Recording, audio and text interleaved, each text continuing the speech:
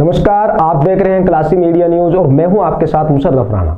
चलिए शुरुआत करते हैं इस वक्त की बड़ी खबर के साथ। कंपिल थाना क्षेत्र के गाँव खेतलपुर सूर्या निवासी प्रेम पाल का 25 वर्षीय पुत्र सचिन चचेरे भाई गोविंद के साथ बाइक से कायमगंज आया हुआ था।